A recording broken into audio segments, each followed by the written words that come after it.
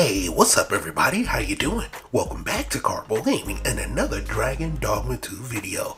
Well, well, well, a brand new update that is coming.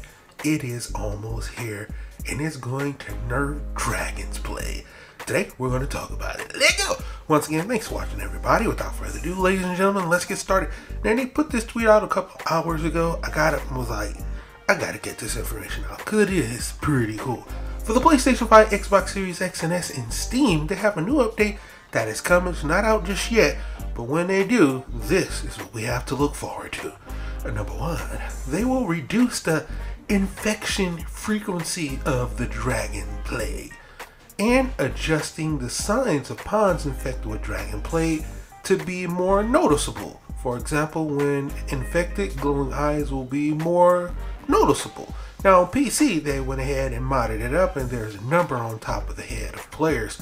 So, you know, that is a thing and I'm glad it's getting fixed.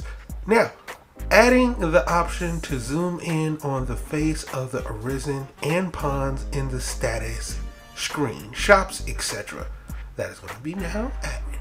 Fixing some issues and implementing adjustments related to the minimap, treasure chests, that have already been acquired won't be displayed on the minimap. That's a plus. Adjustments to pawns behavior and dialogue, fixing issues where occasionally the player couldn't high five pawns, fixing issue where pawns wouldn't start guiding after offering to guide, making pawns less likely to fall off cliffs, reducing the frequency of some pawn dialogue lines, improving pawn lines to better match circumstances, fixing some issues where pawns stop speaking outside of combat, fixing some issues where the main pawn speaking support pawn's dialogue, making pawns more likely to aid the Arisen if the Arisen commands them to help while being held by enemies.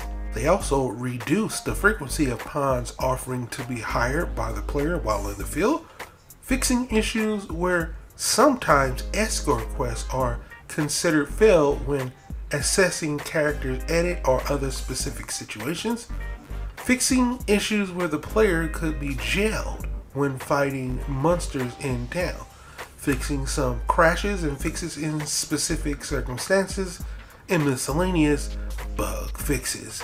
Now, they didn't give us an exact date when it comes out, but they did say that they will let us know for each specific console when the update is here.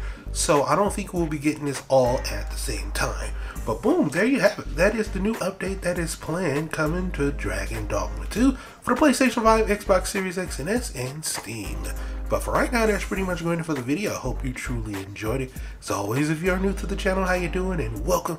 Don't forget to subscribe right here at Karpo Gamer for a wide variety of videos. So once again, thanks for watching. And as always, I'll be seeing y'all in the next one.